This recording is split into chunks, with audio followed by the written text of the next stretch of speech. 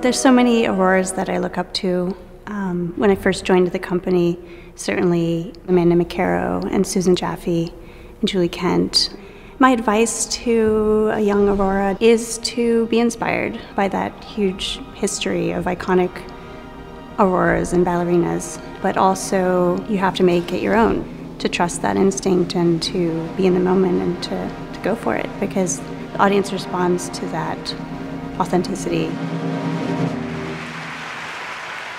With a role like Aurora, which is the biggest role I've ever had in my career, I just had to remind myself, you know, you've danced on stage before. It's okay. it shouldn't be any different. Just just be you. And for a ballerina, one has to have an, an enormous uh, amount of focus and strength to do some really, really challenging technique and make it look very simple.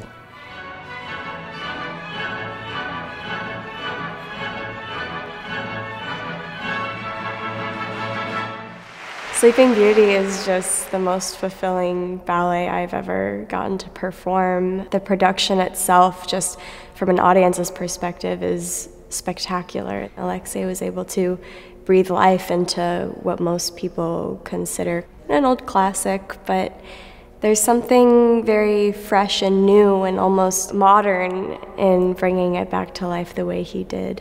It was kind of like watching a very old painting from the Louvre slowly come to life. To be able to just ask Alexei what kind of emotion he wants me to convey in a certain movement or how I should execute a step.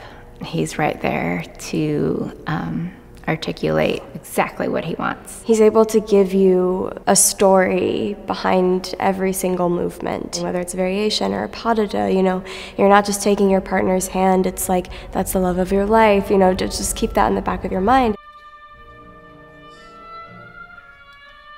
For Aurora, that second act dream scene is understanding a deeper sense of wisdom and also the wisdom that comes with love. Well, I think what sets this production apart is that it's brand new in the sense of these gorgeous costumes and sets. It's really a feast for the eyes, but it's also choreography based on the original notation from 1890 that Petipa created. He was on the height of his half a century experience of producing big ballets for imperial theaters in Russia.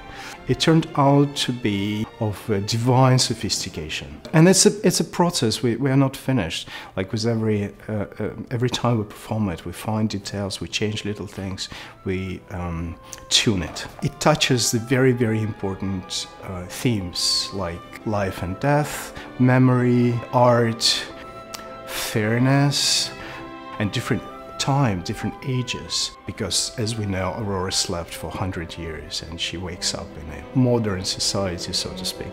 So it's all adds to the grandeur of this wonderful, wonderful ballet.